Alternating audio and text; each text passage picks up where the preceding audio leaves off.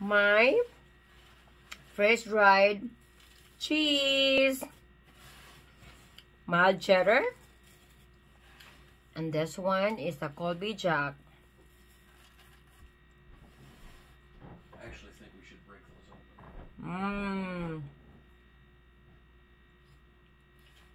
I swear it tastes like toasted um, cheese.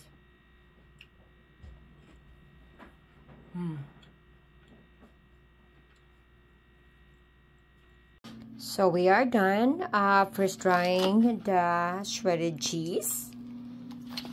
We already put it in a mylar bag and my husband said once uh, the cheese um, put in a mylar bag it will last 20 to 25 years before um, it starts going bad so that's pretty cool